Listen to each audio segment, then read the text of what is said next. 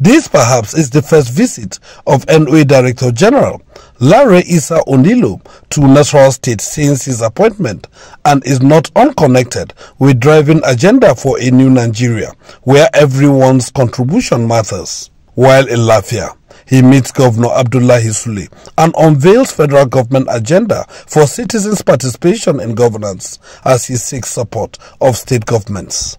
NOADG says the prevailing economic challenges is temporary as the gains of the present administration's economic policies will soon manifest for the good of all. He appeals to Nigerians to be patient with the present administration and continue to support. We've been working on what we call the National Values Charter. National Values Charter is a contract between the country and the citizen. So the country has a responsibility to the citizen, such as the citizens also have responsibilities um, to the country.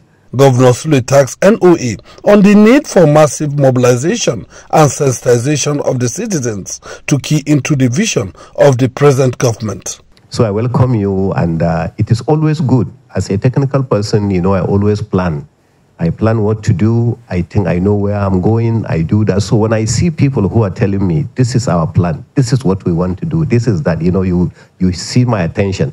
The governor assures NOA of the state government support to succeed in its new drive for value reorientation of citizens.